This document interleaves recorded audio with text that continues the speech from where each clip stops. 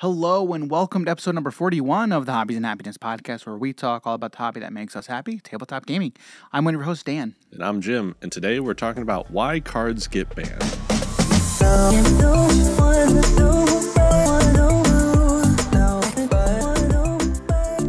All right. So welcome back, everybody. Welcome back to the show, Jim. How you doing, man? How you doing? Pretty good? Tired. Yeah.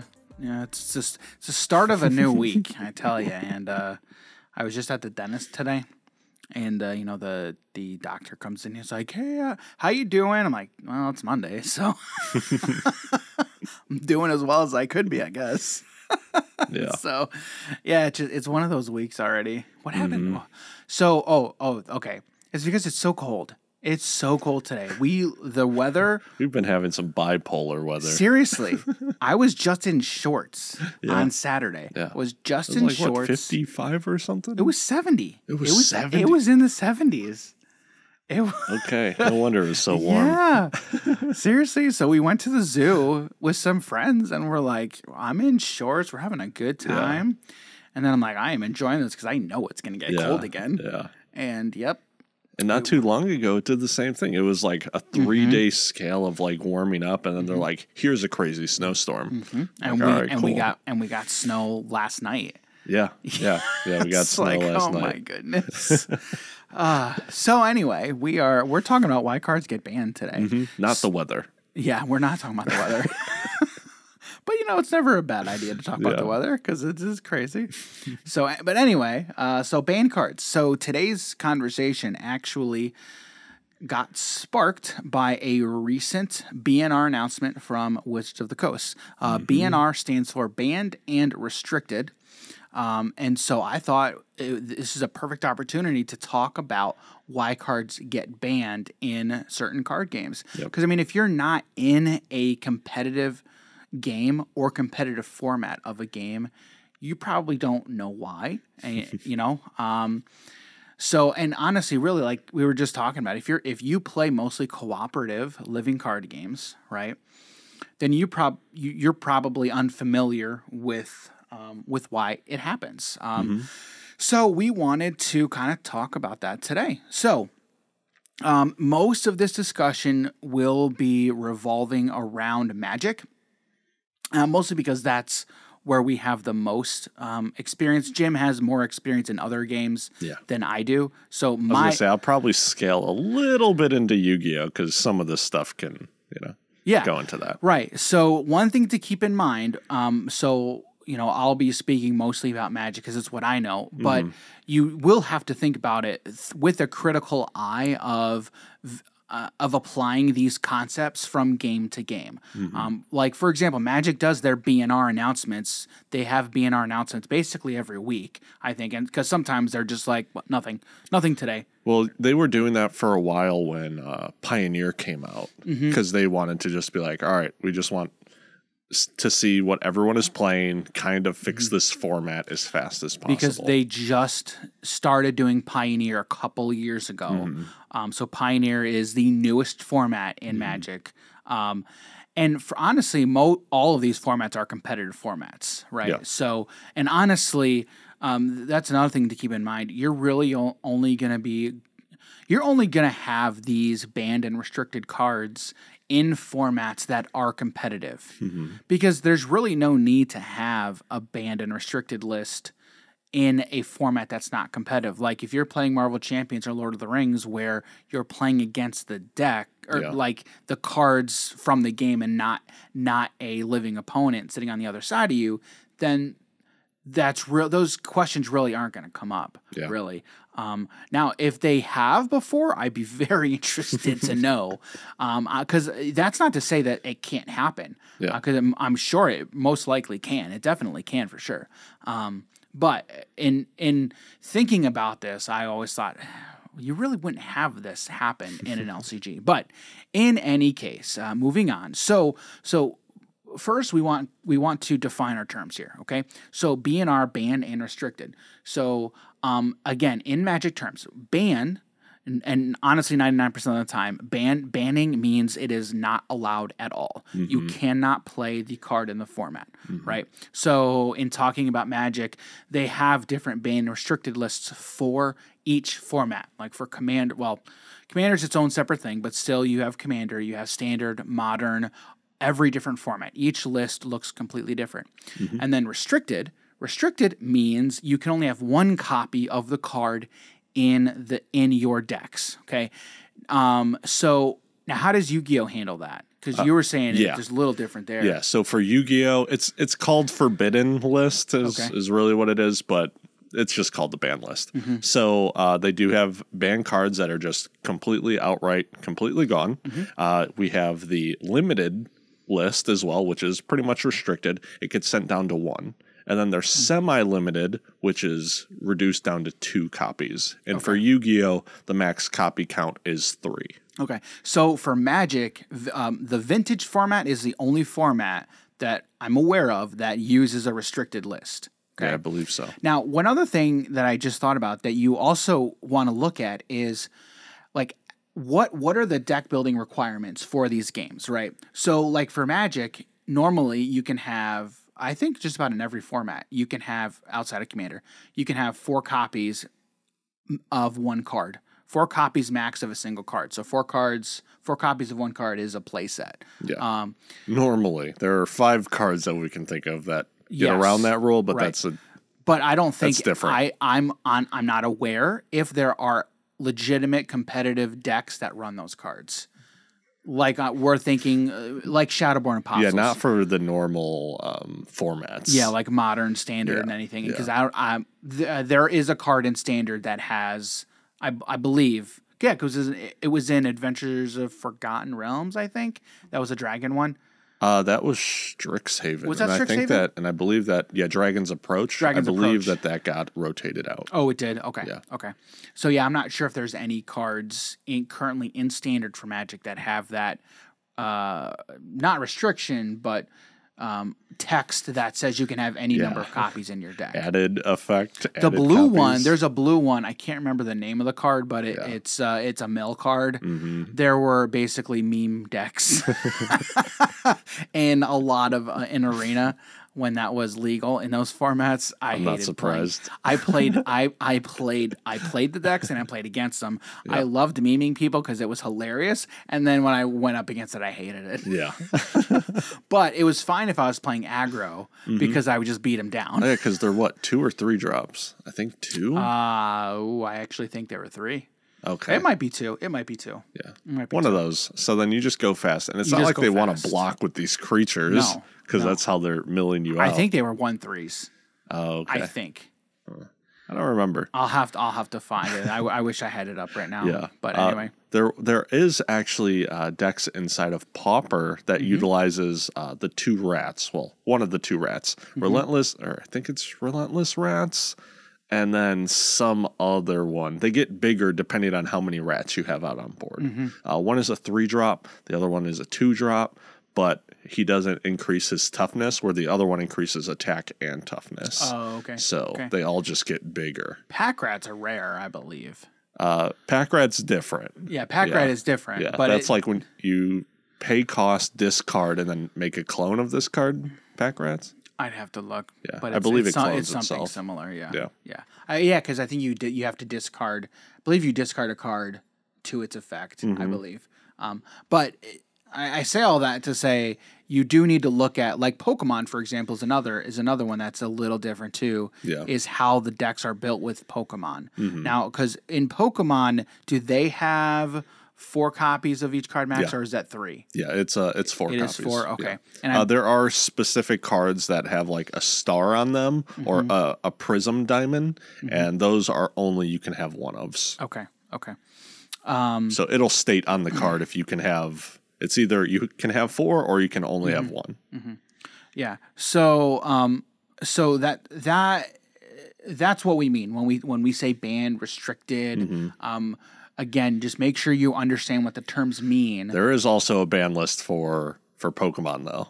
Yes, yeah, Yeah. there is. There is. I'm not sure what there what it is, but there's It tends to not really affect standard so much, Mm-hmm. but expanded and then the the other older formats Mm-hmm. as well. what is that? What are those formats called? I I want to say one is also uh, vintage, Uh, yeah, one is vintage, I believe. and then the other one is expanded, uh, which goes back like five or six years Mm-hmm. rather than two years for standard. Yeah.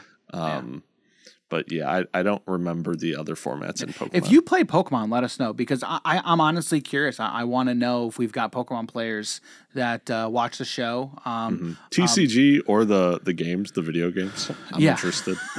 yeah, Pokemon is just a fan is a great game all around. Um, I I really love the TCG Pokemon TCG. It's a lot a lot of fun. Yeah. And again, that's another that's another one that's been around for a very long time. Yeah. and is doing really well. if you're a combo player in Magic, you're gonna love playing Oh Pokemon. yeah, there's a deck that I have that oh we're gonna we're gonna have to we're gonna have to do some Pokemon videos Yeah, because yeah. oh man I I love it I love it so much so much. Um, all right, so so again, this conversation was brought about by the March seventh BNR announcement. Okay, so we're we're we're going to be kind of going in in depth a little bit, kind of as we move through our outline here. Um, so so you know we, we want to get into it by base by starting with so these bans they can happen for really three key reasons. Okay. Um, so we're going to go through kind of each of these here. Um, so the first one that I kind of thought, and these are in no particular order, right? But the first one is due, is due to a stale metagame. Okay, so you know we have touched on before like what the metagame is, right? Um, if you're not familiar with what the metagame is, go check our check our past episodes where we've touched on um, just card games in general. And I know I don't know we might actually have an episode an episode where we touched on a lot more in depth what the metagame is. Um, but essentially, right, what the metagame is is, and I, I when I was learning about this, I, I didn't like when people said this because it just got got me confused even more. But when you understand the concept, it, it makes sense. But it's the game within the game, right? So again, let's talk about Magic, right? Magic is a game. Okay, mm-hmm. you are playing, right?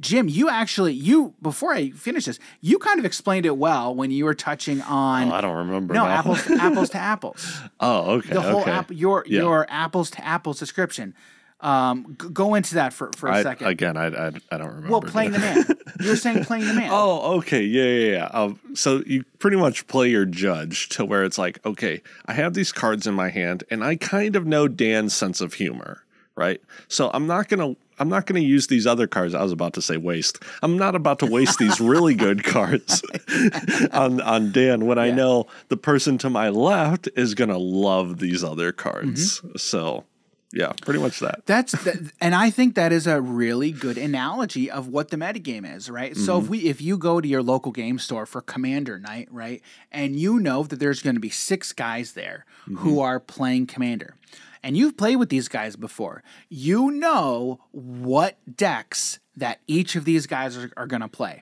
So you know what the competition, what the competition is as you walk into that store. If you know someone's going to be playing Gargos, let's say, uh, or not Gargos, uh, Golos. you can say then you- Gargos too, yeah. Gargos as well, whatever. I'm going to play Is It and just copy your effects, whatever. Mm-hmm. And then, or you could play like Koma or whatever, whatever deck you know that is really good against Mm-hmm. stopping that one player. And honestly, like that's why I built Koma. Mm-hmm. Right? I built my built my Koma deck because there was a deck in our play group. We've talked about it multiple Um, We've times. talked on it multiple times, but that is what the metagame is, right? You know what your competition is and what you're going to be going up against. Yeah. So you prepare for your competition accordingly, Mm-hmm. right? So that's that's really what the metagame is. Um, it took me a really a while to understand what the concept was, but honestly, it, it really is pretty simple. It really is pretty simple. So, like, if you're going from standard to commander to modern, those are three separate metagames. And honestly, even playing commander, the metagame is going to be different if you're playing at your kitchen table with some friends. You go to your LGS and you're playing in a tournament there, or you go to an SCG con and you play a, a tournament or whatever there. Yeah. That's three separate metagames, right?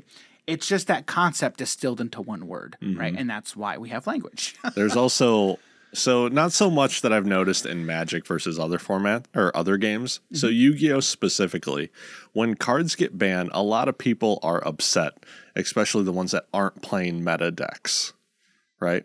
So if there's a really good card, so wait, you're saying they're they're upset if they're not playing the meta decks? so so when the card gets banned, they'll be upset because they're not playing the deck that made that card get banned, essentially. oh, I see. So so then some will be like, I'm just still gonna play it. So there are times I've versed friends of mine. I want to put quotes around that so badly because I hate when people do this. They're like, "Oh yeah, I'm gonna play this this firewall dragon or this uh, these other cards that got banned for a deck called Ice Barriers," and they play it. I'm like, you, you, you can't do that. You can't play the card, man. And it's like he's like, but I'm not playing the meta deck. I'm like, but that's other decks can use that card. like the card itself is also just extremely good, and I don't want to deal with it. So, so that so I I pretty calling much, you out. so I pretty much kind of stopped playing card games with them. I'll still talk to them and, Oh, really? and talk about the card game, but or the game in general. But it's like, all right, if I know you're planning on playing that deck, the one that has the banned cards, I'm like, I'm gonna sit this one out. I'm good. Do I know these people? Uh, I don't know. Well, if it's for Yu-Gi-Oh, I don't. Think Oh, so. okay. Yeah, okay. All right. All right. I, I, Yeah, I don't really have to worry about it so much with Magic unless it's for Commander and people are like, yeah, sure, you can use the. yeah, most card. of the time with Commander, Yeah. I mean, I mean, he we still we still let Golos come to the table. So I don't know why we do. same. he's like, oh, all right. The last time we played, he's like, no, guys, I changed up the deck list, and I jokingly said, it's like, oh, did you change it up because now your commander's banned and it used to not be, right? And and we were all uh, laughing about it, and then it turns out that's literally the only reason it changed. The deck list was the was the exact ex- same, and he it's even- like, he's like, yeah, that's actually why it's different. but but and then and then and then in the middle of that game. I, I, I was like, dude, you literally just said that the deck was different. You changed it. And he goes, guys, I, I was was- obviously kidding. You were not obviously kidding. no, we didn't really care at the time, Oh man. but it we was cared just when he was about to win. That's when we cared. oh, Oh, that was so much fun. Yeah. I love having commander nights. Yeah, that was fun. Ah. Can't stop laughing all right. We're just gonna agree to never allow that deck again. All right. So anyway, stale metagames. Oh right, we were talking about this. we're, we're talking about metagames, yeah. So, um, okay, so stale metagames are boring to play in, and honestly, like I hmm. even, I even let, let's let's let's keep ta- on the train about our commander group, right? Mm-hmm. It is, it can be boring mm-hmm. to every time you show up to commander night, it's the same three decks or Yeah. the same four decks, the same. That Yeah. can be boring. Yeah, because you kind of just know how things are gonna play out. right, right, Right. right. I mean, sure, the outcome can be different every time, but it's like, all right, I know I have to worry about these X cards in this person's one deck. And honestly, right. that that's one of the exciting things about Commander, right? So Commander, with it being a hundred card singleton format, meaning you can only have maximum of one copy Mm-hmm. of each card in your deck, right? Each time you play the deck, it's going to be a little bit different, Mm-hmm. right? Um, and that's why I much prefer playing a more casual commander versus um, very competitive, ultra competitive commander. Yeah. Because those those games they can be very quick, Mm-hmm. and it's it's two, three, four card combos that they're trying to do to win the game. Yeah. And they're going to do it as fast as possible, right? That can be very boring, right? If if it's happening time and time and time again, right? Some people find that fun, and that's I'm not taking anything away from that, right? Yeah. But stale metagames playing the same things over and over and over again that that's boring right so that can lead to bannings right um, and so you look at so in in times where there's going to be a banning because of a stale metagame like the metagame is just not changing like companies again, like Wizards, since we're talking about Magic, will just decide to ban a card because this card seems to be the most prevalent among all the cards played. Yeah. And the metagame really has revolved around this one card. It may not necessarily be overpowered mm-hmm. or very powerful. It's just, it's a significant card in and of itself to where the metagame really has just been built up all the way around it. Yeah. And one other thing I've noticed between Yu Gi Oh! and Magic's ban list, mm-hmm. a lot of the time, Magic will ban out that really powerful card, mm-hmm. right? Where Yu Gi Oh! sometimes doesn't ban out that extremely powerful card. Mm-hmm. They ban the cards that get you super easily to that one card. So it could be like, oh, this one Oh. card is going to give me plus five cards an advantage. Yeah. And then it gets me to whatever card I really want. Mm-hmm. It's like, sure, those other cards are ridiculously powerful, Mm-hmm. but it's that one card that's the problem. It's Yeah. like, I, I can play this one and I can now go off. Mm-hmm. Send things to the graveyard. Those eff- effects activate. I can now special summon it to the my side of the field, and and now you're getting deck thinning on top of more cards on the field, Mm-hmm. along with first turn going into ridiculously strong cards. Right, right. So Yu-Gi-Oh likes to get rid of those support cards that so really. they so they don't get rid of the cards themselves. oh, they still do. If Oh, it, if do. it becomes a problem, Oh, okay, yeah. okay, Um, But, if ma- it's but, ma- but Wizards and Magic will just get rid of that one card, that yeah. problem card. Yeah, exactly. Because Mm-hmm. again, they're just two completely different games and how their uh, mechanics are structured. Right, right. So, so go, going off of the stale metagame point, right? I, I have I have written down like so deck diversity, right, is a good thing. It's a very good game, Mm-hmm. good thing in card games, right? Um, so you know, th- honestly, I think the term diversity gets thrown around all the time for different reasons or another, right? Sometimes it's good, sometimes it's bad, whatever the case may be. It is a term that just I think gets overused, right? Um, but in this case, um, in talking about the metagame, right, and, and how it relates to card games, the diversity of decks really is a good thing, a good thing, right? What the biggest thing it points to is you ha- the health of a format, right? If you have a lot of different decks that are competitive that can win on any in any given match, that is a surefire sign that your card game, yeah, the meta game, is in a very, very good spot. Yeah. Okay. Yeah. If you have a tournament, and this has happened so many times, and very recently with Wizards and Magic, where you look at a tournament, uh, seven of the top eight decks, of seven out of the decks in the top eight are the exact same deck. Right. Yeah. That's boring Yeah. right? So deck diversity is such a good thing when it comes to card games. It keeps things very it keeps things exciting, mm-hmm. right? Um, and honestly, it's very exciting watching a tournament or playing in a tournament when you don't know what to expect.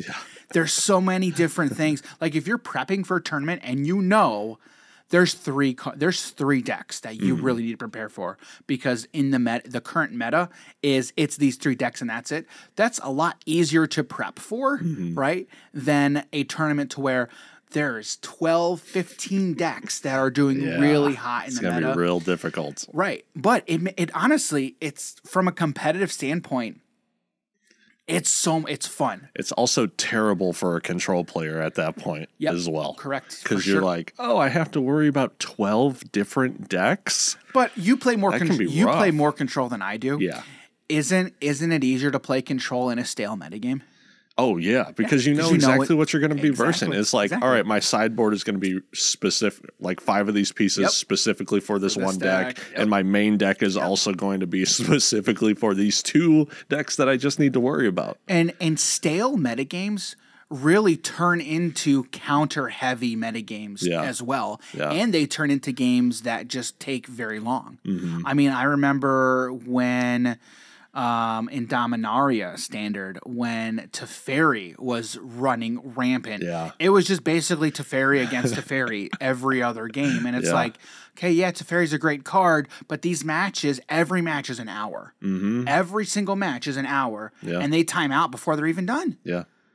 And same thing. So uh, you weren't playing at this time, but during the Kaladesh uh, Pro Tour and just the Kaladesh meta in general, Mm-hmm. Yeah. um, there was Boros Aggro with the looter scooter, right? That was the that was the first deck that I played against when I got into Magic. That was the first deck that I played against. And you know, Joey, if you're watching, man, you were the first one I played against, and you or you know, I take that. You were the second person I played against that night, and you were running that deck. oh man. Yep, I remember Uh, that. Brendan also let me borrow that deck when I was first getting into it. I was like raffle stomping everyone. Dude, it was such a good it, deck. it was it's I didn't know it at the time because I, I didn't know much about Magic. Yeah. But now, I mean, I know all those cards. Yeah. They're phenomenal. I there were so many were so times good. I would forget to do the looting effect on Smuggler's Copter, Mm-hmm. and people would be like, "Do you want to do that effect?" I'm like, "Oh, oh yeah, I forgot I can do that because my I've been playing at this point for like maybe a month." oh yeah. and yeah, so I right. I'm still learning this right, game. yes. And but I'm I'm going like either 3-0 or 2 and 1 at Mm-hmm. locals, brand new to this game. It's like I don't have to worry about anything it is that they're doing. I'm just like, all right, crew the smuggler's copter and go face. And then just get in with all my other creatures as well.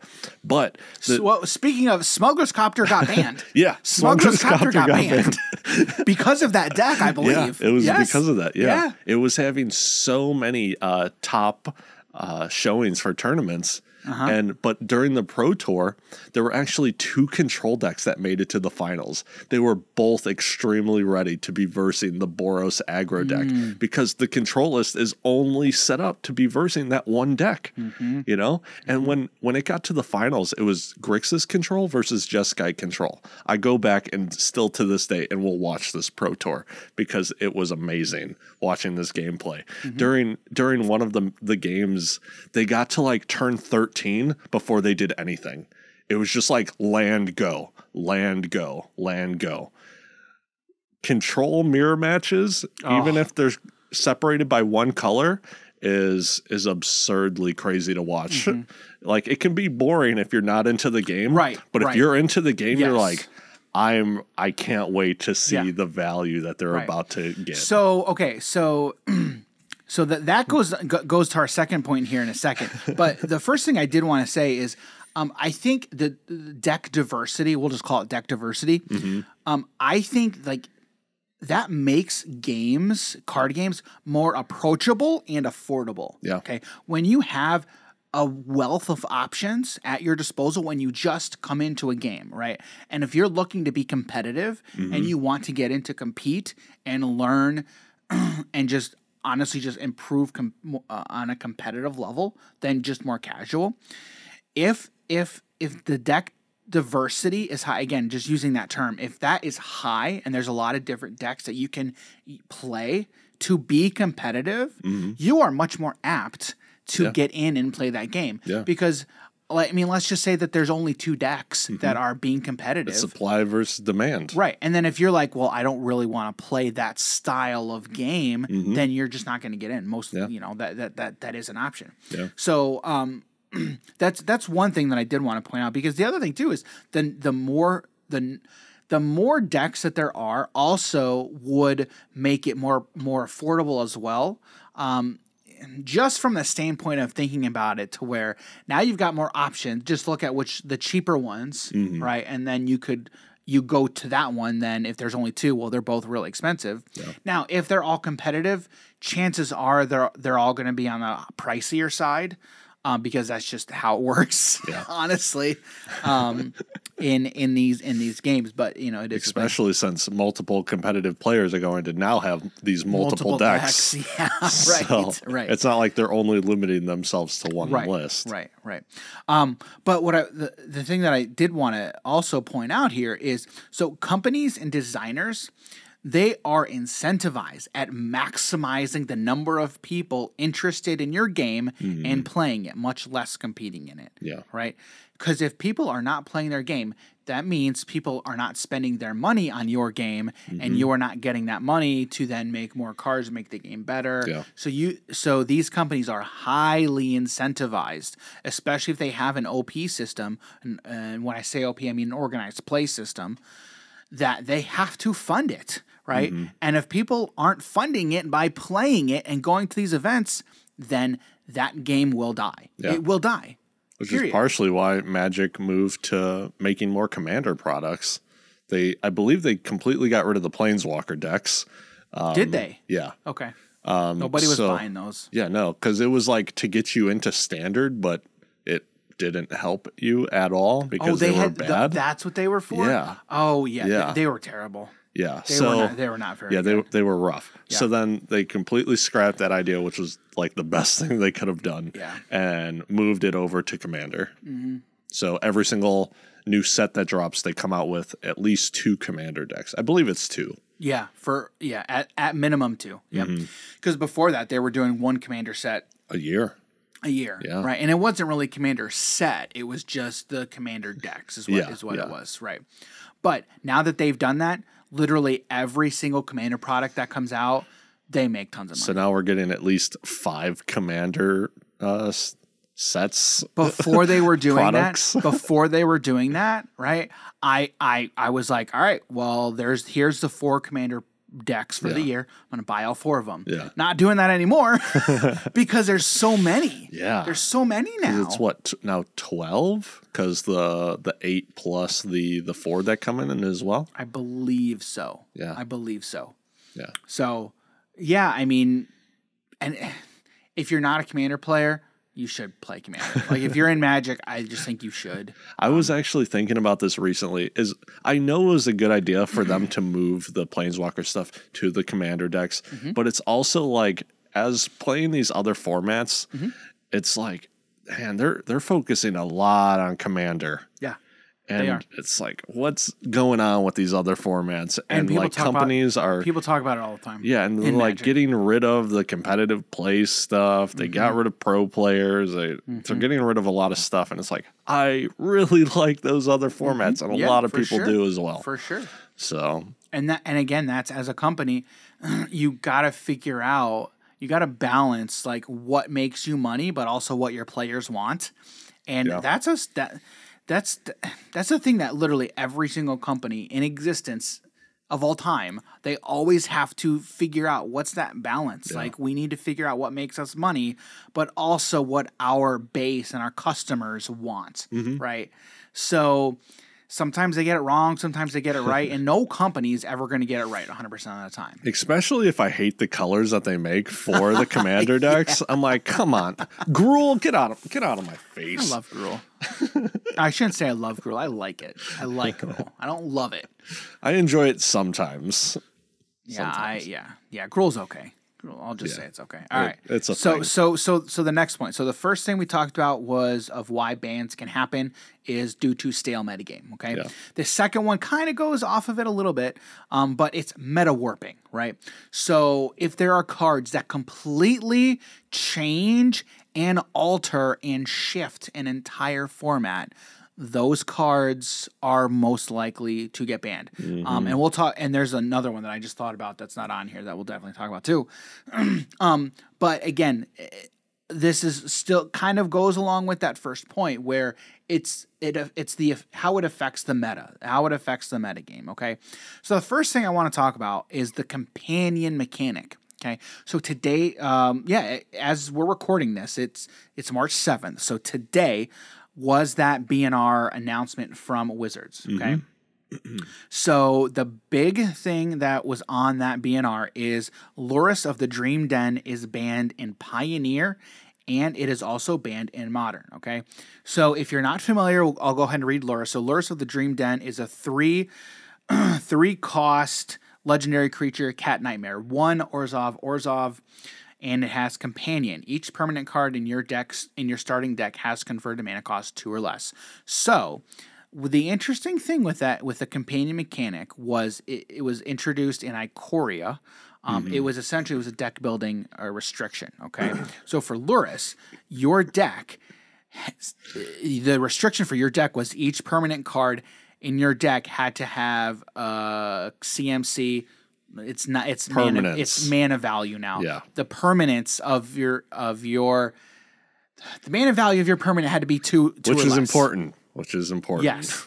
so it's a 3 2 with lifelink and said during each of your turns, you may cast one permanent spell with com- with mana value two or less from your graveyard. This uh, is not up to date. Yeah, that's all right. this is not all right. But okay, so that that was the card. Okay, so this card when it was released, they had to completely redo how they designed Yeah. the companion mechanic. Okay, Yeah. because the way companion was originally designed, okay, was it started in in the companion zone, right? Yeah. So it's like Commander where you had access to it right away. Mm-hmm. Okay, It was it would take up a slot in the side deck. in your sideboard. Yeah, yeah, yeah. yeah. So it, it basically acted as if it was in your hand, Mm-hmm. and you could cast it at any time. You could cast that card. Yeah. right. Which all companions were permanents, so Mm-hmm. you could only cast them at sorcery speed unless they had flash, which some of them did. And we'll Yeah. talk about one of them. Um, so it was always in your hand, and it couldn't be touched. So, like, if your opponent had a card that allowed them to look at your hand and then make you discard a card, they couldn't make you discard that. Yeah. So Lurrus was everywhere. Yeah. Um, was was the cat deck in standard at the time Ikoria came out, or was that after? I'm trying to remember if The cat deck? yeah Uh, of the cat oven. oh, uh that was Was that after? Eldraine? Yeah, Eldraine. I can't remember if So, yeah. Was before or after Ikoria. I cannot remember. I, oh, because yeah, for I don't standard, for standard, Lurrus was the companion in that deck. Yeah. I think. If I if I remember correctly. Yeah, I don't remember exactly. But Lurrus Lurrus 100% was the card that made them change how the companion mechanic worked. Lurrus and Yorion, both of them were those were the two biggest ones. Yes, yes. Yeah. But I think But Yorion didn't get banned. right. So- Yeah, Lurrus was the one that got banned. Yeah. Right. And Lurrus got banned pretty quickly. Yeah. It got banned in vintage Yeah. r- like right away. Uh limit would it, oh. I oh, thought it got banned in vintage. Yeah, it would it would have had to have been banned. I'm pretty sure it got banned in vintage. Yeah. right because they put it to one, but like you're only running one anyway. right So- exactly exactly right because yeah uh, in a lot in a lot of these standard decks right they had their Lurrus in the no because you couldn't have Lurrus in your as your companion and put him in your Yeah, deck yeah. right uh, so it was That's the only good thing about what they did with right, him. right that'd be that would have been Missed crazy out on everything else. that would have been crazy if they made him But there were some decks that were just playing three in the main board. yes there were Yeah. correct Because it was like, all right, well, I mean, the card's way too good. So I mean, when I was playing standard, of course I played it because Mm-hmm. I mean, if you're in, if if you're in black, you were most likely playing Yeah. that. Like if you're playing that style, you're 100 percent playing Lurrus Mm-hmm. Yeah. because why not? yeah, I believe wasn't there mono black aggro at that time, or was that. Pioneer? I forget. There was. Well, regardless, it was both. Mm-hmm. Mono, yeah, mono. I remember that mono black aggro list in in standard. Yes. Yeah. Um, so Lurrus completely Lurrus was a part of the reason that completely changed the mechanics. So they they changed how the companion mechanic worked. Mm-hmm. So they made it to where instead of you being able to cast it directly from the companion zone, you had to pay three mana to then put that card into your hand. Mm-hmm. Okay, and you could only do that at sorcery speed. yeah. So then you were able to cast that card um, with normal timing restrictions. Um, so you you think about that. They had already printed all of these cards that had because they tried to explain how companion worked. And A lot of people are confused at mm-hmm. this. because they like in, in Scryfall, the one that I'm looking at, Yeah. they say if this card is your chosen companion, you may cast it once from outside the game. But the the errata text is if this card is your chosen companion, you may put it into your hand from outside the game for three colorless mana anytime you could cast a sorcery. Which I don't believe that they reprinted them to be, or yeah, to even put the text on them for the uh, pay three to get it into your hand. Yeah, that's just a complete side thing. right. So, But if like if they were See, again, I don't know because I'd be very interested to know how the printing of these cards work. Do they just print how much they're going to print before the set releases and then send them where they're going to send them for sale and then just not print them again unless unless the individual cards come up for a reprint? Or do they have like do they do print runs? I would I would assume not. I would assume they do one print run and they print how much they're going to print, like for the set, and that's it. They're not going to mm-hmm. reprint. From from what I hear, they they'll they'll keep printing cards if they're like in standard. From what I from what I believe, Oh, so they'll they'll keep printing boxes, printing cards for boxes up up to a certain point, I'm assuming. If it's Oh, like yeah, yeah, if it's like a few months before it gets rotated, then they probably wouldn't. but for okay, so because normally cards are in standard for a year, right? Uh, two years. Oh, that's right. Two years. My bad. Two years. So in this case, right, because Companion changed immediately upon release. Okay. I don't think I don't. It was actually it was about a month. Yeah, I wanna say it was about a month. It was about a month. I'm sorry. Yeah. So it took about a month for them to change it. Yeah. Because I remember when it happened, the the talk in the community at the time was this should have happened sooner. Why did this not happen sooner? Why Yeah. did we wait a full month? Um, but in, in any case, I do remember it was it was about a month after. Mm-hmm. So in this case, so it happened a month after, right? So now are they if if they are printing the cards up to you know h- uh, however certain months before yeah. it gets banned do they then change how it's printed do they make a call to the print again i don't know i don't know the operation i don't know how it works but do they then change it going forward then Probably not, just because they have the order in or something It, it could be that, and it's also just of how long they've already been in the process of getting these cards together. That's true because I because I know it's a long Yeah. process. These eh, the the amount of time it takes to design and then get them to the printers and then printing and packaging. Mm-hmm. they say for the challenger decks, it takes about a year for from when like their big That's tournament true. Mm-hmm. takes point to see what decks are doing well to when they come out. That's true. That's true. Because we'll talk about this in, towards the end of the episode. Um, the like physical card games Yeah. and how this affects them versus digital. Um, but yeah, so I'd be We can very, talk about Lurrus all day. I'd be very interested to see like if there are printed copies of Lurrus that have the new errata uh, companion text on it. Mm. Um, but again, like if you're playing the game, you know how the card's gonna work. yeah. Right. If you're playing competitively or Correct. someone you know is playing competitively, Correct. Yeah, they you're gonna you you're know. gonna know how the card's gonna work. So that's that's never the issue. It's more of we're curious. Like I'd be very interested to know because you know we because we talk about like rules right and and knowing how to play these cards. Mm-hmm. We talk about villainous like all the time because we're not sure. We look at what's printed. We're like, well, this doesn't make any sense. Yeah. I really I should be able to look at the card and know what it does. Yeah. Right. But you know, the, again, with the power of the internet, it's so easy to know uh, rules, Yeah. right? Um, but you know, it's it's it's an interest. It's an interesting thing, right? So you know, so going off of Laura, so we were talking about this on on our Discord today, right? Which, if you're not a part of our Discord community, go check it out. There's a link in the description. In all these descriptions, go join our Discord, um, where we chat about pretty much everything. We were talking about a lot of stuff We were talking about a lot of stuff today for sure. Um, we're, Jim and I are pretty much always in that Discord. Yeah. I've pretty much always got it open um, just to chat with anybody with whatever you want to talk about. So if you're not in part of our Discord, go hop on, check that out. Um, but one thing that somebody had said, this is it, I thought it was very interesting, right?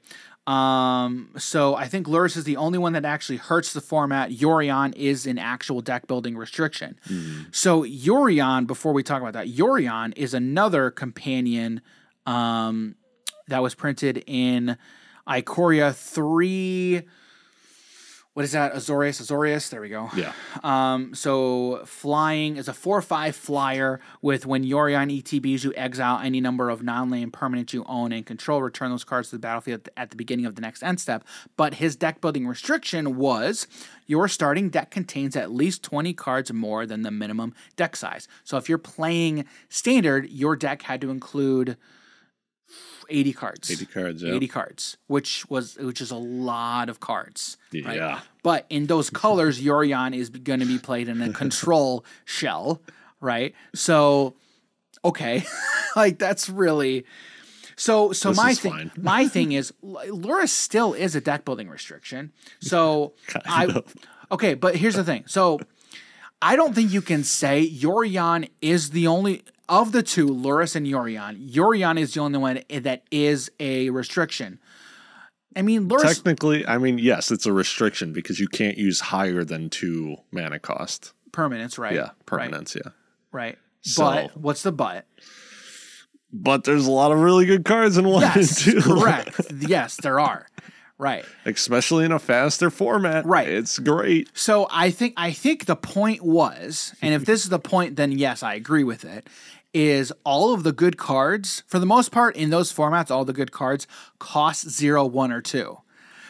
Right. And so those are the good cards. You're not gonna not play the good cards. Yeah. Right. So in that sense, if all the good cards cost zero, one, and two, you're gonna play the good cards. So there, therefore, it's not really a restriction mm-hmm. when it's not when it's the lim the limitation is on cards that you're not playing anyway. Yeah. So in that sense, yes. That that sense, yes, I'd agree that it's not really much of a of a restriction, which I think that was the point. There, there actually was a lot of decks that changed just to fit Lurrus into the list. Yeah. Mm-hmm. There was Jund in Modern, which isn't playing any of the three drops anymore, and that's and that's a mid range list. You're looking to outvalue them around the three mana point mark as well. So you're looking for you got your one and two drops, but then you also have Liliana of the Veil, which is going to take you into outvaluing them towards the end, uh, middle and late game. Yeah. And you, now you don't get to then you didn't get to play her anymore. Yeah.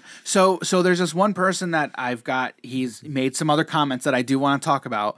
Um, because again, join our Discord. We have these conversations, and these are these are actually good. These are good points that I kind of want to touch on here. Does his name start with an A? Yep. All right. So so the the next thing he said, um, because we then started talking about Ragavan. Okay. And I need to pull it up Is again. it Ragavan or Ragavan? Rag, whatever it Honestly, is. I've never I- I heard not. Ragavan, but it actually sounds pretty dope. I I think it's Ragavan. I don't know. Um, I do not know. So Ragavan, whatever, is one mana, right? So one red. Dude, So he- good. he's so good. when he when when Ragavan deals combat damage to a player, create a treasure token and exile the top card of that player's library. Until end of turn, you may cast that card. And then it has dash for one and a red. That is, you may cast this card for its dash cost. If you do, it gains haste and it's returned from the battlefield to its owner's hand at the beginning of the next end step. Oh my goodness. Yeah, he's a little good. Wow, he's very good. Right. So, okay. Um so comparisons comparisons were made between Luris and Ragavan, right? They each, they're each low lower costed uh, creatures. Okay, so you've got Ragavan you can play at one the one slot or the two slot, right? Um, but in your deck building, you'd probably cast him for you you he would take up the one slot, I would think, right? Yeah, if you're talking about deck building, Yeah, yeah. right? Um, so so the comment was so oh yeah, Ragavan I actually think is good for the format, forces everyone to play to the board, right? So so saying that Ragavan forces people to play a certain way, right? Mm-hmm. The next comment was yeah, Lurrus homogenized the format by forcing certain ways to answer at main deck. So to me, my where my mind goes is we're saying Lurrus is bad because it's forcing a certain play style, but Ragavan's good, but Ragavan you're also saying forces a certain play style. So that was where my mind initially went, okay? But the downside which which the comment was made is Lurrus very much homogenized the format. Yeah. Decks changed to fit to be able to fit Lurrus. Because the value is just too good. Right. So yes, both of these cards are forcing you to be forcing the meta to be playing a certain way. So um, I, I think I think the comment I, I think I think that I think the comments were right were right on, honestly. Um it's just initially I'm like, well, I thought if you're saying that Lurrus is bad because it's forcing a certain play style, how can you say Ragavan's good by by that by also forcing a certain play style? Well, it's a difference of more so who, uh, because how I see it, it's like the Lurrus is changing the deck of the Yeah. specific player. Yes, To where sure. The Ragavan isn't so much changing the deck of your opponent because it's just like, well, I have all these kill spells anyway, so I just have to take care Sure, of it. So that's what I think when he's saying play to the board. It's Yes. like, all right, well, I now have to just control the board anyway. Yeah, I agree. So And and when it comes to the um the Lurrus, unless you unless you stop it on the stack, you don't get a priority of before he takes the bauble I know. from the graveyard. I know. So now it's just like, all right, well now it's a free card. And if they're playing Jund or Rakdos or uh, Red Black of anything, really, um, you then also have access to the Kolaghan's command, which gets you back the Lurrus from the graveyard, Mm-hmm. along with one other effect. So Yeah. I mean, whenever I would see Lurrus, I'm like, what do you mean this Jund list is only running two Kolaghan's command or or not even playing it at all or at a one? I'm like, it gets you back your most important card. Play the Kolaghan's command. so for are you pulling up Kolaghan? I am, yeah. okay. Uh, it's a it's a one red and black. How do you? sp- Uh, now, now I have to figure out how you spell Oh, Kolaghan's. Uh, K O L O G H A N. Kolaghan's.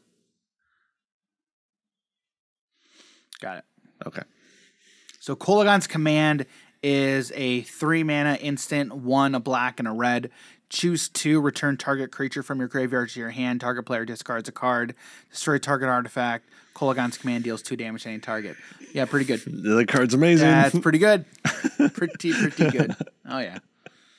Oh yeah, that's pretty good. And that's legal legal in pretty much every format. uh, Pretty much. Did you say? Did you say that they they discard Target player discards a at instant speed? at instant speed. So I don't know if you know this. There was a a Grixis control deck that Okay. would play. Uh, he was a Sultai commander.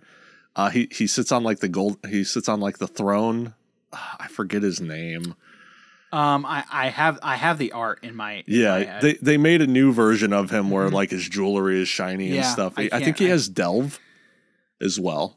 I can't remember. Um, all right. So regardless, uh, you're able to pay some mana Mm-hmm. into making it to where your opponent picks a uh, a card from your graveyard to put back into your hand, right? Mm-hmm. So you're able to recycle the Kolaghan's command back into your hand, and at their at the end of their draw step, you can play Kolaghan's command to make them discard the card that they just drew. And you're playing a control list, so you can, you're probably going to have them have zero cards in hand anyway. yeah, when I play control, it's fun because I'm very very mean like that. Yeah. and that it's fun to be mean. yeah, that's more of a boomer deck now. yeah, yeah, yeah, yep, So- yep.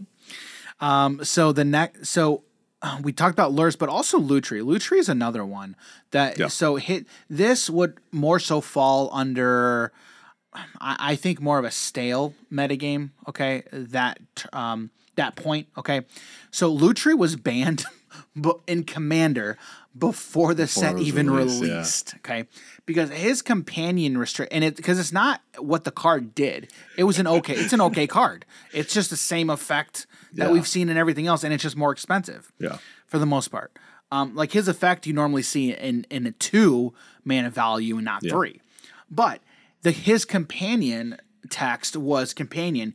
Each non-land card in your starting deck has a different name. That's hard. That's commander. Commander and Brawl. Every single exactly every single deck that's in those formats meets that restriction. So if you're in is it, you're gonna run the card mm-hmm. basically. And so the decision was made before the set even released. We're banning it in these formats because of that reason. If there's there's literally no downside to you not ru- to you running the card. Yeah. None. Red and blue cards are uh, overall pretty good to be Yes. copied. Yes. Exp- oh, especially since you can just make infinite combos of, all right, well, now I clone my clone effect to then just keep copying clone effects. and it And then if you have Ral Zarek or Raul something, yeah, when you there's an cast, there's an infinite combo yeah, there. Yes. yeah, and it's just all right. Every time you cast or copy a spell, deal one damage. Yeah, right, right, right. Mm-hmm. But you can't um most since this is a permanent, you won't Yeah. be able to copy that Oh, oh, it's permanent oh, it's so wait, wait. Lutri is copy what I'm spell? saying what I'm saying is you can't normally you wouldn't be able to copy Lutri. Oh yeah, yeah. I'm I'm saying like play a clone effect and then play Lutri to then clone that copy That effect. co- that copy yeah. effect. Okay, yeah. Yeah. for sure, for sure, for sure. Um eh, so it, and it wasn't it wasn't so much it was banned because um like it wasn't banned because it was going to be good or anything. Yeah. and or it or the fact that it was just going to be in every deck. It was you were guaranteed to see the card Yeah. because it was going to be in your companion zone. So you always had access to it. Yeah. Mm-hmm. It's not like it was going to be one of the 99, right? That's not it. Yeah. It's just I always have access to this card and I will you will most likely see that card this game. Yeah. That goes more off of the stale metagame and oh you're playing it oh there there's Lutri again you know, that that type of feeling Yeah. which we've all had those feelings not with Yeah. Lutri but His with- deck restriction is not a restriction in Correct. Commander. go same thing with like the Lurrus thing Yeah. you're talking about. Like Yeah. it's not an actual restriction. It's not a bad kind of restriction. Right, right, right, right. Where So- Yorion at least makes it to where your deck is less consistent. right, right, right. So, all right. So the last, the last point that we want to talk about of like why bannings can happen. Um, we've talked about the stale metagame, the warping of the metagame. This last one, I think is also this is mostly going to be more geared toward Magic, right? Because it's a game that's been around for almost 30 years now, right? It's to remove quote problematic cards from play. Um, in June, June, I believe, June of 2020, um, Wizards of the Coast released an article entitled "Depictions of Racism in Magic." So, and these That cards, escalated quickly. yeah, yeah. So, so these cards that they named in this article, um, they had all been around for quite a long time, quite a long time, and but they never really talked about by Wizards. I don't think like publicly before this article that I'm aware Yeah. of. I don't believe so. They'd been talked about plenty of times, like within the community itself, um, but not by Wizards of the Coast. Um, I'm also I'm trying to remember what was going on in the, in the culture at that time. Um, I'm trying to remember because I remember when this article came out um, and when they banned these cards, but I'm trying to think like if there was a point in culture that like something happened that kind of triggered it. I'm trying to remember. I don't think so. I don't think something happened, but You're if- saying it was June 2020? yeah, June 2020. Um, I've got it right here. June 10th. June 10th of 2020. Okay. Um, so um, we'll link the article if you want to go if you want to go check it out. Um, but so they've they named one, two, three, four, five, six. There were seven cards that they named. Um, because I remember when, I remember when the article came out. There were so many news outlets, mostly like YouTubers and Yeah. like the um, the normal outside of the mainstream media, right? Independent media? Yeah, independent media. And there were plenty of independent outlets that were talking about it um, and, and their thoughts. So um, we're, you know, I'm not really interested right now in having the discussion of who's right, who's wrong. This is merely a discussion of an acknowledgement that it happens and this is a reason that bannings can happen. So, and honestly, I think Magic is probably one of one of not the, but probably one of the only games where this is going to happen in at right now because it's a game that's been around for almost 30 years. Yeah. Cultures shift, times change. That's a very that's a long period of time. Um cultures shift. I, I mean, th- I think about myself and how the world was when I was a kid hmm. our world, our culture is a is a completely in a completely different place it was than it was when I was a kid, right? So if you have cards that have been around for that long, you may you have the potential to be to print cards that seem fine when they're printed and then now they don't seem okay. I'm not saying that's what happened here. Um, because one of these cards definitely is I honestly, I honestly don't understand how. How did this get okay, through? so I, do, I, I, I, we have to talk about it. So, so the card is invoke prejudice. Okay. After like looking, I have to pull it up because I can't even. I, I didn't pull it up for whatever reason. I don't understand how in the world does a card like invoke prejudice? Maybe we shouldn't put it up on screen. huh? Actually, I'm, I'm not going to put it up on screen. Um, if you want to look at it, you can go you can go look it up yourself. yeah. So the the text, we'll read the text. Okay, whenever an opponent casts a creature spell that doesn't share a color with a creature you control, counter that spell unless that player pays X, where X is, its mana value. Now, if you just had the text by itself, that's that's okay. That's not a that's not a terrible effect. Um, I it's not it, that's fine effect. Okay, but the name and photo. exactly it was it was the name of the card, the photo. It was the photo at oh most. yeah, yeah. It was the, and that was all I looked at for the longest time. Yeah. Um, when this came out, I just looked. I looked at the name. I looked at the photo. I'm like, oh, yep. Yeah, that makes sense. that makes sense. But then I read the card. I'm like, wait, what now? After reading that, I'm like, how does this get through? I mean, this card, this card is is there's no there's no denying it what it references Yeah. to. I'm not gonna say it because I don't I, I don't I don't We'll just say it triggered. begins with a K. cubed. We'll say K cubed. How? I mean, there's there's no there's you you can't explain it away. You can't. There's there's Uh, that's none. another math lesson for you guys. If you do not know math time with Jim, Don't say it. we're Don't not going to say it. Don't say it. Don't say it. oh, but just if, if you're curious, look up the card. You'll Yeah. see you'll see the art. Okay. Oh, man. we're laughing just be, just based off of the conversation we're having, Yeah. not not the card. Like it's it's it's very apparent. It's very apparent. I mean, it's funny to me how how did this card get honestly through? Now, now, here's the interesting thing. Oh, I've also heard in in in looking this up, okay, in doing the research that I've I've done, that was it the artist? Oh, well, it had to have been, okay, because how do you how do you draw? How do you make art for that card, right? The art that was made, I mean, but the artist who made the art for this card Mm-hmm. was.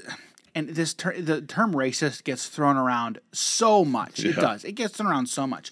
But he very much had um, he had those thoughts and ideologies very very much. Yeah. That's what I've heard. Um, which looking at the art, that makes sense. Very much makes sense. Now, there's also, you know, we, we we talk about art, separating the art from the artist, uh, all of those things. There's there's honestly there's a lot of things that you can talk about when it comes to this arena um, in in tabletop gaming and card games, and uh, there's there's a lot that you can talk about, Yeah. right? Um, but I, I think I think you do need to you you can't have these conversations just from a, a- an acknowledgement of why these bannings, for example, like what we're talking about here, of why they happen, right? But because this is an honest, this not honest, but this is an actual reason why bans happen. In that article, they banned. Uh, where's the article here? They banned seven, Seven cards. cards? Yeah. They banned seven cards. Um, There was actually a, a list I was looking for. So you can find the the list of all seven cards on there. Mm-hmm. Um, there was a photo I found on Google Images. There was only one card that was missing inside of the seven, and it was the Invoked Prejudice card. oh, That was the only. Yeah, yeah. yeah. So, so well, uh, because the artwork on that is is is Yeah. so is so yeah, obvious. Yeah. There's no getting around it. The other ones, it wasn't so much the artwork that why they were ba- uh, Yeah. why they said that they were problematic or whatever. yeah.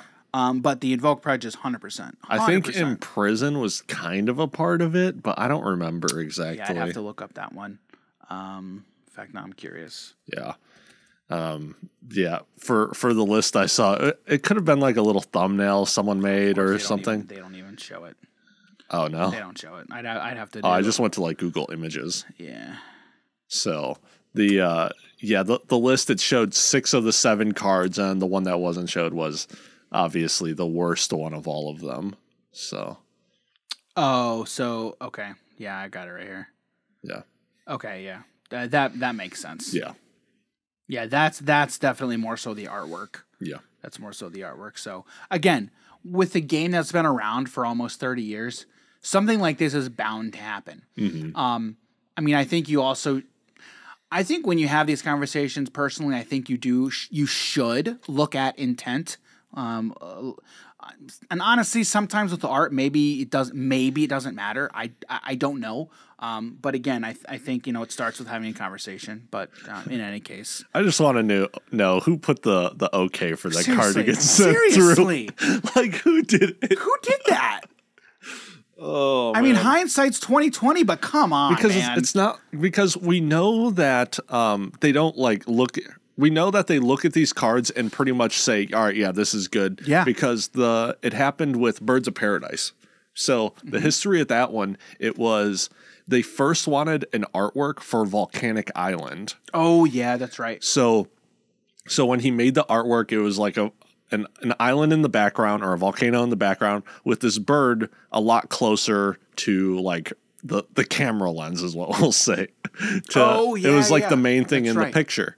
So and then they're like, all right, well this isn't exactly what we were looking for. The bird's taking up most of the photo, Right. And we want it to most mostly be around the volcanic island itself. Uh-huh. So then they got different artwork, but they still paid for the Birds of Paradise artwork, and Right. they turned it into the card that we now know, Right, Birds of. Paradise. Yeah, because because the way, at least the way it works, the way it works that I'm aware of is when they approach the artist, they give them a general concept. They don't have they don't say like exactly what the card Yeah. does. Yeah. They normally give them uh, a concept of okay, here's what we're thinking, here's what we're thinking And for the name. artwork, and yeah, and a name, um, and then the artist goes from there. Now, is that what happened here? I have no clue because again, this was also a Yeah. long time ago. Just I'm- just going because uh, Birds of Paradise was alpha or beta or one of those Right, two. right. So nine- if if they did it for that guy, yeah, if they did it for that th- guy, they probably did it for the person who made Invoke Prejudice Yeah. as well. Yeah, but again, we you don't know because that also who knows. There are there could be There's a few people out there that know. yeah right right. Uh, so I, again, we're we're curious like very curious because the big the big question the big question is how did this get through because that that is a huge glaring it, it's so obviously glaring that how in the world does something like this Yeah. get through but it's a little crazy. yeah. All right. All right. So again, I I, I, want to make this point again. We're not saying any of these things are right or wrong. Um, what we are saying is we're just acknowledging that these things happen, um, and the, the these are the um, uh, arena, arenas.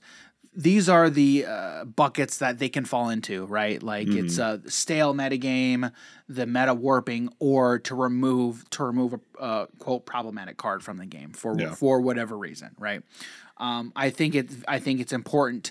I do think it's important to acknowledge um, the reasons because again, you can't. The only way you can get better um, and learn and move forward is by recognizing past mistakes, right, and then correcting them and then moving forward. So, all right, moving on. Um, so, um, all right. So when talking about bannings, Yeah. right, this is where digital digital card games really have an edge over physical card games, right? Um, because we talk about with Lurrus, are they going to reprint the card? You know how long it takes to actually print it? They have to make sure they get it right, or else th- there's there's a lot of different ramifications. There's a lot of ramifications that can come up and that can happen. Um, Was the uh, companion reminder text on the card? yeah. Oh, it was. Okay. Yep. I don't remember. Yep. So that for the for companion that that's it wasn't that big of a thing because we're just talking about reminder text, right? But if it's actual rules text and how it affects the card, you need to know what's going on in, in your game, right? Which you should anyway, right? But like testing, testing, testing. The amount of testing that goes into Magic and these sets is already insane. Yeah. It already is pretty crazy because they have to get it right, right? Um, but the nice thing with the digital game, and that's why Arena, again, we're still talking about Magic here, but that's why Arena is very nice to where they can just change it in an update and Yep. they can errata the text right away. So you talk about a, g- you talk about Magic, and then you talk about a game like um, Legends of Runeterra, which is digital only. So Legends of Runeterra, digital only. If they have if they have a banning or they need to errata a card, they just do an update and they're like, all right, well, here's the changes for for this month. You know, after looking at the metagame, we've realized um, this card needs to be nerfed, this card needs to be buffed. Mm-hmm. Um, and those that happens a lot in digital card games. Same thing with Hearthstone. They do that Correct. quite a bit, Yep, actually. Hearthstone, yep. But with a physical game, you can't do that. Mm-hmm. You can't just buff or nerf a card. Mm-hmm. With companion, it was they kind of had an out because they were just like, well, let's just instead of changing how this one companion worked, we're just going to change the entire mechanic Yeah. and how the mechanic worked. Yeah. Right. So that was a little easier. And I say easy, like nothing is easy, right? But it is a little easier than than just errating one card, right? Um so the, the other thing that I, that I did want to note like if you've invested a lot of money in a physical card game um and then there's a ban that happens, I mean your investment could lose like half its value. Way Very- more than Well, Depending just- on the game, right, Yes. yeah. No, right, right, right, Yeah. right. I'm just, I'm just using that as an example. Yu-Gi-Oh. That stuff drops down to Does it? next to nothing. Really? Yeah. Yeah. yeah, Yeah. Cards can be like a hundred dollars or even like a reprint of some stuff. It could be like a hundred dollars and then card gets banned down to twenty five cents. Mm-hmm. Yeah, like it's it's drastic. Well, it was interesting. So you know, um, and it could go both ways too, right? Because you look at look at the reason for the banning. So like when the whole uh, that uh, the racism and magic article when that came out and those cards were banned, I'll I shouldn't say a lot. One so invoke prejudice that card. I was looking up the um, price history for that card. I think r- when when it got at, at the time it got banned, the price was about two fifty. Mm-hmm. That Um, sounds about right. And so af- once it got banned, the price history on MTG Goldfish it doesn't show it. Um, but I looked it up on eBay, and on eBay it was going for five six hundred. Mm-hmm. So Same with TCG player. They you can't even find you can't these find cards. the cards. You cannot find the Yeah, cards. they on there. completely took them out of the Right. database. Yep, they took them out of the database. Took them. They they did their best to take them out of circulation. Which I mean, it's what they're trying to do. I I, I get it. I understand why they're trying to do it. Mm-hmm. Um, but that's not gonna It's not to not gonna solve it. Not Yeah. gonna stop it. Right? It, that's they're still going to be circulated. What they did was cause this card to double in price. Correct. Yeah. Um, so in that case, like these cards were not banned because they were good, right? Th- That Mm-hmm. was not the reason for the ban. They were banned because they were bad.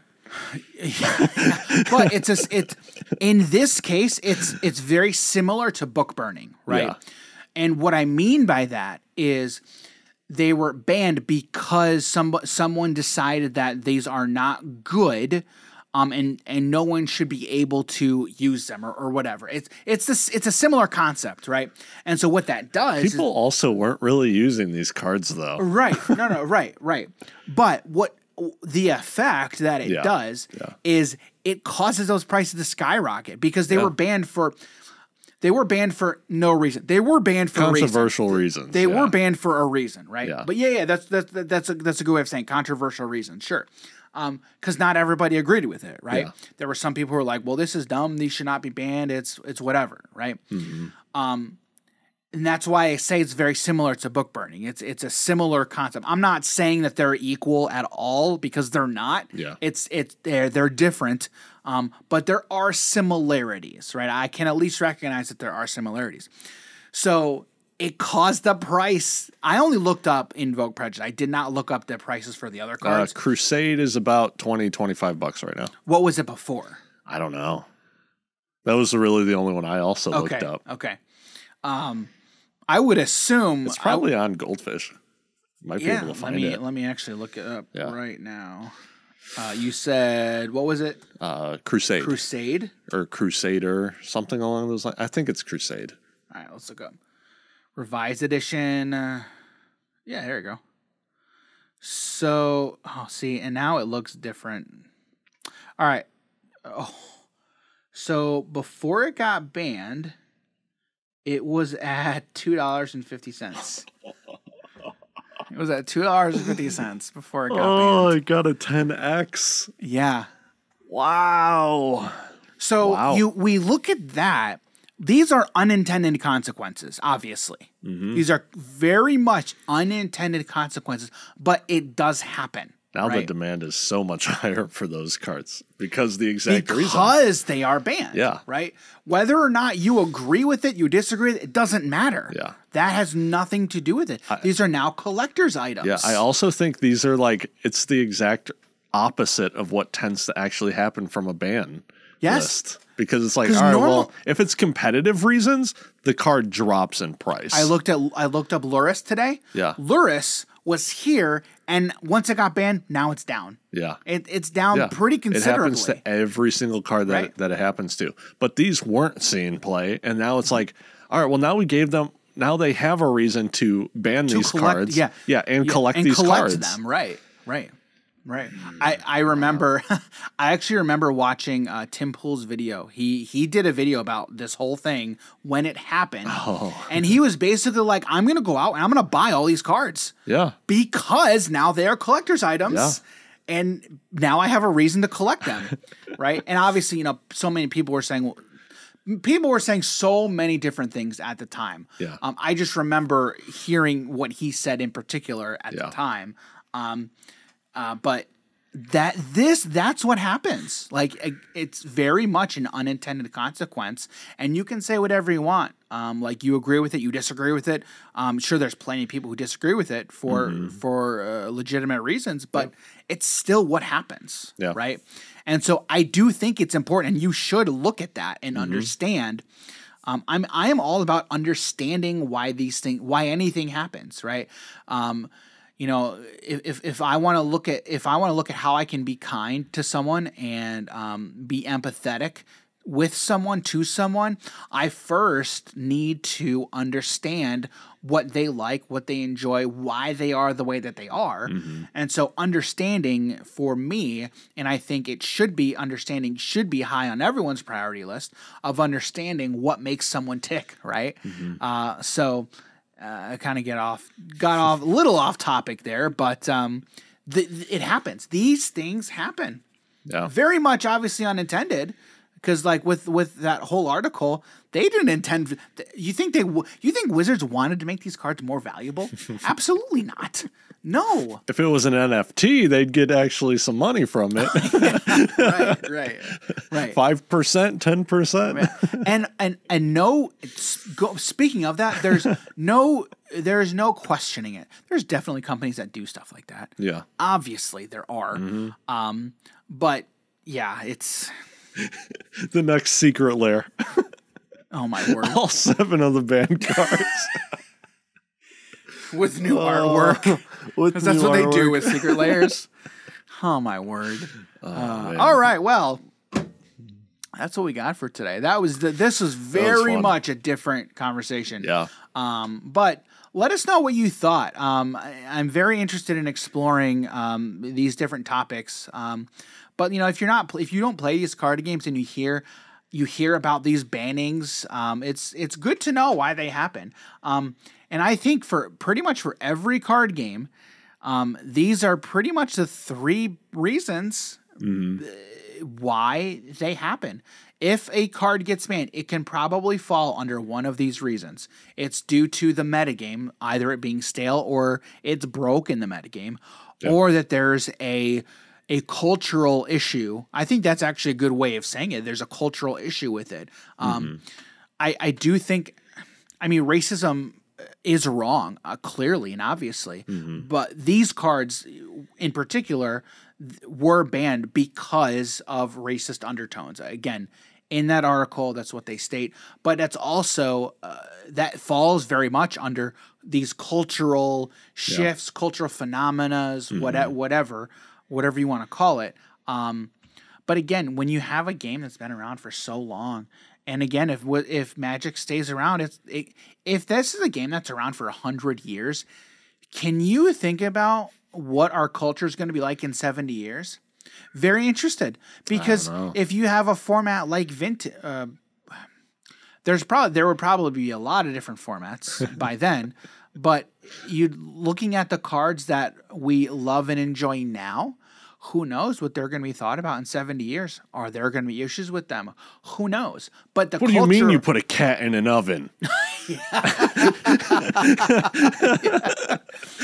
but like cultures shift. Yeah. um, and what and what's acceptable here in the U.S. is looked at very differently in other cultures, right? And I think it's very important to understand understand that and recognize that um, because I think that's very important, and it's very important in order f- to be kind and empathetic is first learning to understand somebody. So I'm going to leave it with that. Um, kindness and empathy are, I think, very much undervalued and underused. So please be kind, be empathetic to everyone. Um, seek to understand them. Uh, you don't agree with them, you don't understand them. Seek to understand. Be kind, be empathetic, um, and then you know kick your kick that relationship off on the right foot by being kind and empathetic. And um, you know what? Who knows? Maybe you'll learn something. Maybe you'll learn something that you did not know uh, before meeting them. So Learn something, make a new friend. yeah.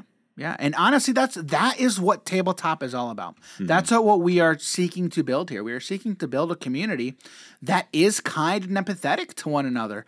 Um, I, I very much value, and honestly, I hope my our audience really they glean that. They can they hear that from us that we try to be kind and empathetic to everybody um, whether or not you agree with us or you disagree with us um, i view it i v- value kindness and empathy um, so yeah so i think it's very important in tabletop um, and i think it's it is these those are traits that are very much lacking in in tabletop. Uh, we remember we had talked an episode. We talked about the toxic communities in tabletop and how they form and Oh, how they happen. Yeah.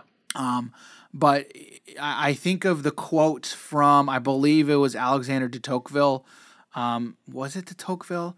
But uh, the it, it, it, I don't think it actually was Tocqueville. It might be. It might have been someone else. But um, the the way that evil triumphs is for good men to do nothing. Um, I can't remember who said that. For some reason, it, I thought I'm thinking it's de Tocqueville, but it might be somebody else.